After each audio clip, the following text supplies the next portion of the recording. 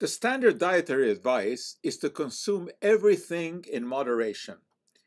That advice is generally sound, but when it comes to alcohol, we can throw the moderate consumption out the window. It seems that even small amounts of alcohol can be damaging to health.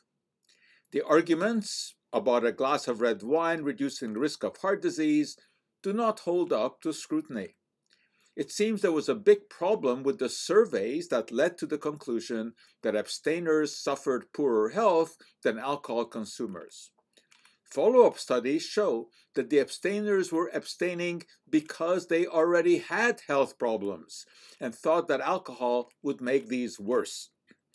Now, the Journal of the American Medical Association reports a study that followed over 135,000 seniors over the age of 60 in England and found no cardiovascular benefit from drinking alcohol. Even more disturbing is a report by the World Health Organization that over 3 million annual deaths, the majority among men, are linked to alcohol, with about a third of these due to cardiovascular disease and cancer. Alcohol can also cause cirrhosis and hepatitis. Reams have been written about the risk of cancer due to the artificial sweetener aspartame, but that 5 o'clock cocktail or the glass of wine with dinner scoot under people's cancer radar. While the International Agency for Research on Cancer ranks aspartame in its category 2B, reserved for substances that are possibly carcinogenic to humans, both ethanol and its metabolite, acetaldehyde, are in category 1, substances that are known to cause cancer in humans. But the problem goes even further than that because alcoholic beverages can contain a number of other carcinogens, either as contaminants or as fermentation byproducts. For example, carcinogens such as acrylamide and nitrosodimethylamine can form during the processing of barley into beer, and ethyl carbamate can be produced when spirits are distilled.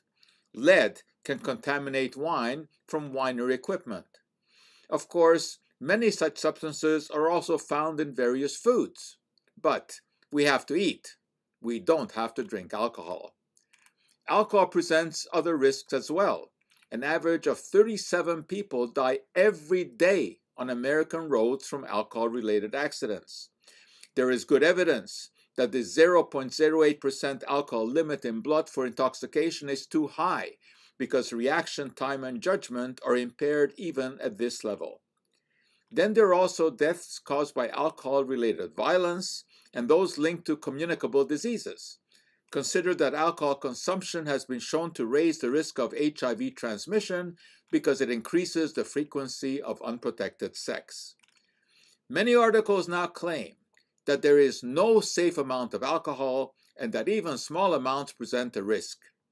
While this may be true, it is also true that we regularly take many small risks in life.